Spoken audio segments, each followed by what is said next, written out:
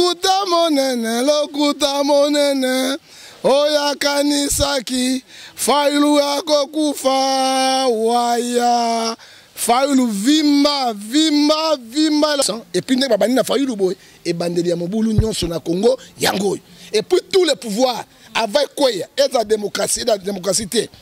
ezala tokei na baélection na élection te eyaka kaka na loyenge Congo Bisengo. Congo Bisengo. Fanny Bongende. Vous suivez Congo Bisengo. Exactement. Plaisir ya trop na Congo Bisengo osalela biso.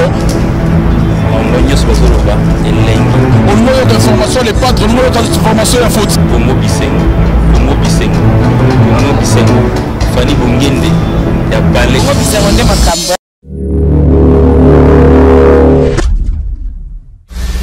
Kongo Bisengo. Fanny Bongende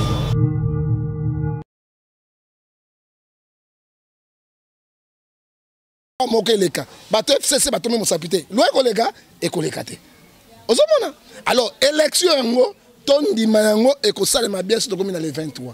soki tokomi na le 23 te nzambe azoyebisa ngai il y aura toujours des bains de sang epuis ndenge babandi na fayulu boye ebandeli ya mobulu nyonso na congo yango oyo epuis tout le pouvoir avant ekweya ezala démocratie ezala démocratie te ezala tokei na baélection na élection te eyaka kaka na loyenge eza 47 verset 7 je donne la prospérité je donne la diversité yiki yiki c'est moi dieu qui fait toutes ces choses là nzambe azolakisa bato bamona fayulu moponami na ye est ce que oyebi naissance ya jésus naissance ya jésus ayaki kaka na mabe na mpasi yesu abotami na riske erode alingi koboma ye yesu akoli na riske yesu ah, babomi ye bakundi ye bakasaka esili yesu asekwi yo aza na likolo c'est comme fayulu un messi du congo comme moïse katumbi oyo bazo koapuye ye lokola mosito mwasi oyo madame de fer mama bazaiba il est toujours à côté ya fayulu fayulu ayaki eloko pam oyo ayebanaki te oyebi ke fayulu abandaki député provincial na ville ya kinshasa kitikiti na kimbuta comme na euh, euh, député national lelo akomi deja donc candidat plus aimé na kati ya république démocratique congo mpe na niveau national na international ozomona nzambe afasonaka moto totika eloko ya nzambe esala ke totika posa ya bato kabila le père adi ya mobutu na lotinika azoseka mobutu kekekekie abi mobutu asasala boye ata na miso te kita fait dieu qui t'a fait dire lelo mobutu akweki ye kabila le père lelo moto aboma yebana te ayebani tokoloba yango makomaka pouvoir ekosila oyoki eh, ebani ye eh? lelo tozwa bato nzambe te ntango nzambe aleve motu apesi motu tosala élection lokola eh, lokola na gabo te nalobi tosala élection lokola gabo te mwana omar bongo atrichaki élection pingi moto azwaki lelo makasi ya nzambe se manifeste il est où maladif mutu ebebi moyen kosala mosala te dieu montre aux gens c'est moi dieu qui établit l'homme chef et c'est moi dieu qui destitue l'homme lelo yango wana toke na gabon oyo lingo oleka kati oyo na makasi tokomona makasi na nani akendeke na wesaka na basoda asimbi bo nana na mwasi na kati na chambre yango babata makembese soda otala makembese na bino personne c'est dieu qui voit mwana te nini te boza bino bale mais dieu voit nzambe azomona e nzela ya nzambe moto akopanza yango ezala te congo toza na basoda te congo toza na bakonzi te congo totie like epai na nzambe lokola matie 11 20 tolobi boye na mikumba na bino epai nzambe tozwi mikumba ya congo toswi maboko na yo tuye le seul ya kopesa solution mais na bango il n'y aura pas la solution suka fayilo bakoboma ye Fayulu dimanche akoma na mbandaka. Maintenant je vais prier pour Fayulu. Ata batie bandi yaka ko tenguma, tenguma, tenguma te na mbandaka et Dieu est là pour toi. oyoki soko ngai nalobi mabe bakokoma ngai lokola bokomaka yoka guillaume biso tolembi bino makambo na bino kolemba mpenza oyoki bokokoma lololo ti oh, mama koloba meme mingi te hmm. liboso un député c'est un homme d'état mm. nakopesa 5 depute ya minene na mboka oyo okozwa moto okola kiungu kwa mwanza ah? l'homme d'état okozwa moto lokola kibasa maliba l'homme d'état moto okola tshisekedi wa mulumba oyo te oyo nde ya papa l'homme d'état okozwa moto okola liyau koteri tribal oyo tozomona yango lelo l'homme d'état okozwa moto okola ive mobando yogo eh? l'homme d'état okozwa moïse katumbi chapwe eh? eh? otabisaka solution partout eh? Sol, mota solution okuta monene lokuta monene oyo akanisaki failu akokufa waya failu vimba vimba vimba yoka na yebisa eloko moko eh, ndeko nango jano na ba nini kwasa kwasa kwasa kwasa kwasa kwasa sikoyo ndeko na biso maikama nini bonganga na nzambe bo eza kwasa kwasa kwasa kwasa te kwasa kwasa atika biso tokende di tozoba nde verite verite tokosuka mpo toa bana kongo tokodefendre nation ti na suka ti na suka parce que congo ekozonga na boko ya congo nzambe apambola bino natelemeli wera te mpo wera ayebi lingala te ayebi français te wera azwi mbongo mpo na misi mpo na parlema te mbongo ya wera mpo na misiki do nzambe apesaka mutu akontinue na yango papa oyo papa oyo mayebisi ngai eloko moko ayi papa ngai nayebi ete instrument moko beta te bomengo tu naza na yango nzambe apesa ngai mongongo nde esali ngai boye mais wera akende na parlement eloko nini akoloba na parlement akosala na parlement wera atika na miziki na ye esali ye e, epe akontinue na yango atiki nani atika na orchestre mais yusundur azalaki nini ministre ya culture ti azonga kobata miziki te Hein? azonga kobeta miziki no totia congo na place na yango ndeko muna cédrik totia congo na place na yango tobenga quand euh, euh, on parle de, de, de, de loup on voit ça que il faut appeler le chat par son nom soki tosala kosangisa oyo oh, ndenge tozomona lelo oyo mboka ekei na toi boyi soki esimbi na parlement te wela ozonga soki miziki te isundula la suki wapi tabulei lelo soki akontinuaki kaka na miziki nde baza na vie Taboulé akoti na akoti na politique, akomi vice-gouverneur. Où aujourd'hui Taboulé? Mais Koko Wendo yo na vie, il est plus âgé que Taboulé. biso toyei kokolendisa bato eloko ya malamu osala yango bamonima lokola wera batikala na baare na bango mpo na kotonga lokumu ya kongo mais nakumisama fayul aza eh, eh, eh, candidat ya peuple mais so nayambi ye nikoloba nazoba nayambi ye te yo ozoka motema mabe mpo na nini oh, nakende aéroport mpo na nini nakobanga eloko moko te oyo nazosala eleki bato bakoyamba na kati aéroport candidat fayulu to tombola mpe aza candidat ya peuple il peut apporter changement na congo mais oyo batikali changement moko eza te maidepese bazokana ngai asala idepese nini Hein, nasi depese eloko te nakoloba verité reke na verité naza prophète du peuple mpo na peuple soki depese esali malamu nakoloba malamu dania safu na ndenge na ye moi c'est homme de dieu makasi na ngai eza bapriere soki omeki ngai okuta na yesu soki okuta na yesu aotinda angele gabriel gabriel okozwa bimponda na bibotu ok meka ngai na muna yo ta meka ngai muna okozwa bimponda na bibotu epa gabriel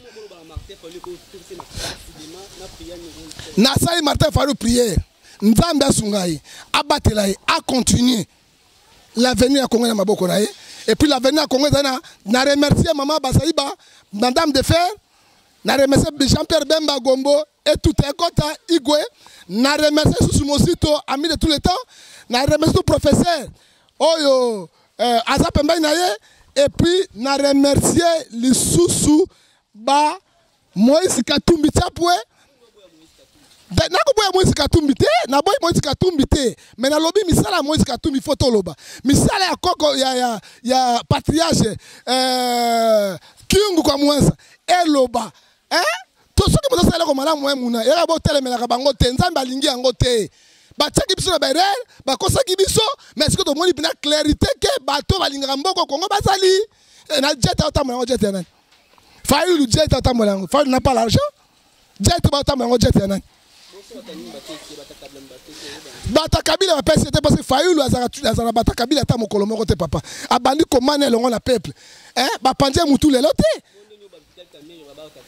kamere banda kala azali traite yo obunga ebenge cameleo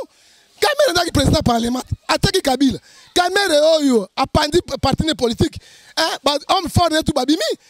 kamera aye na injection ya kopesa na kati na tshisekedi azalaki propre aye kobebisa carrière politique ya, ya, ya, ya, ya, ya tshisekedi kamera eloko nini asala na mboko ya bonga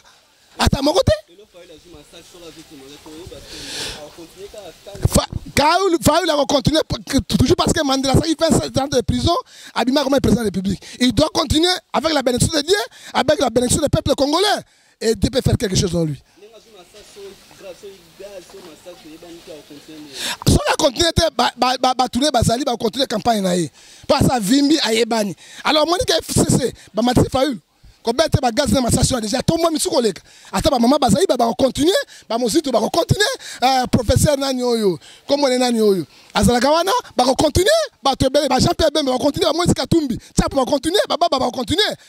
ata aza na mbete hôpital mais le peuple congo bakovote malgré oyo nalobi yango prophétie eza bongo mais dieu peut changer quelque chose na dernier mitan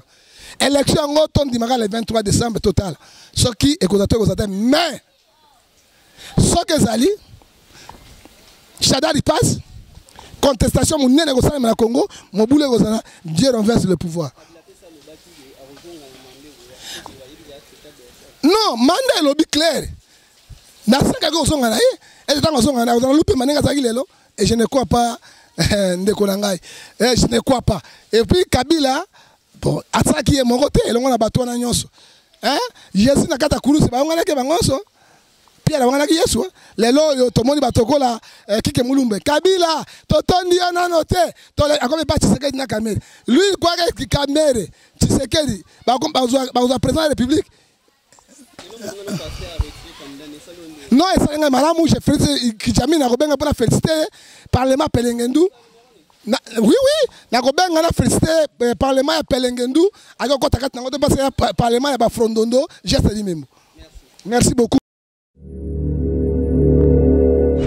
Congo Bisengo.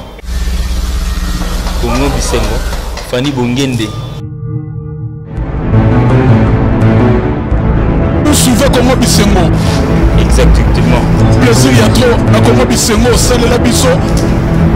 bango nyonso bazoloba elengi olingi oyoka formation ya lepatre olingi oyoka formation ya foti kongo bisengo kongo bisengo kongo bisengo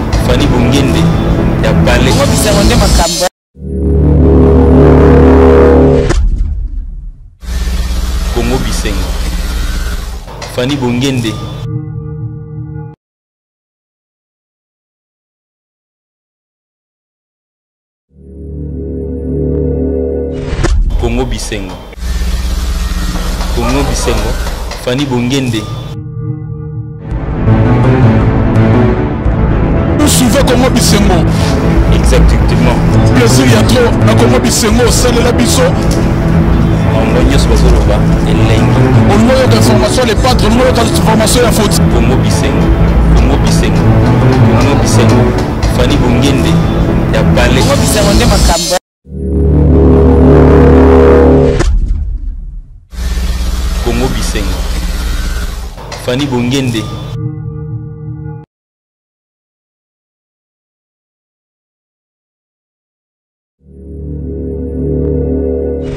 Congo Bisengo. Congo Bisengo. Fanny Bongende. Vous suivez Congo Bisengo. Exactement. Plaisir ya trop na Congo Bisengo osalela biso. bango nyonso bazoloba elengi olingi oyoka information ya lepatre olingi oyoka information ya foti kongo bisengo kongo bisengo kongo bisengo Fanny Bongende ya Palais. Ko bisengo nde makambo.